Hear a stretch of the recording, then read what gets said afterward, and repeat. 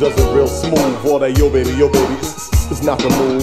You gotta treat them with respect, never neglect. Try to protect, most of all, project some intellect. Present yourself a proper is important if you truly do want us to be a gentleman and be in a corner. Make her feel like the most. For example, forget Goodfellas and take her to see ghosts. Wine and dine under candlelight, make the move right tonight while the stars are bright. Then hop in the hot tub and start to rub her on her back. Yeah, they like that. Satisfaction guaranteed. We gotta get a woman what she need. These days they don't be falling for no phony Casanova since they started watching Oprah. So even if it's not your style, open the door for them once in a while. Even buying them some flowers don't hurt. Yeah, it sounds old fashioned, but it works.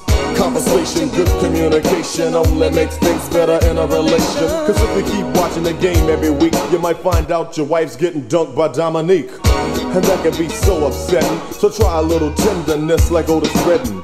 Put the gangster approach on pause, and I dedicate this to you and yours.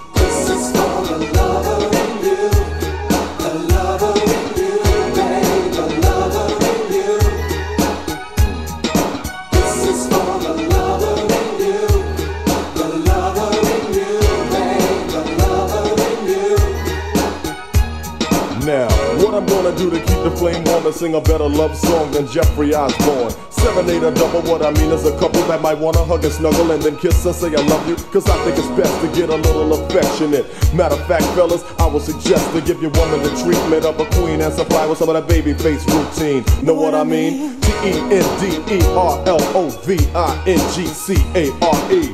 You figure that out and keep it in mind while I bring the chorus back for you one more time. This is for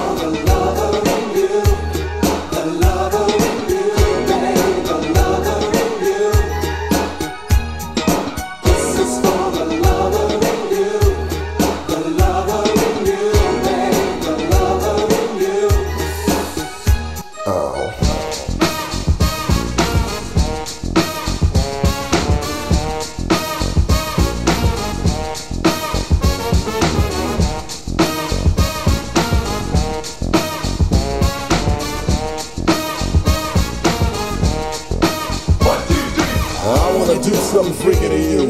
Take you to a level that you never been to.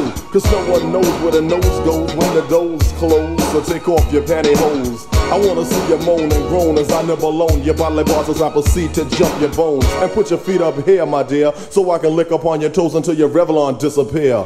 The passion between us will be so incredible as I prove that a woman is edible. So if you're game for having a ball, ladies, I send this out to y'all.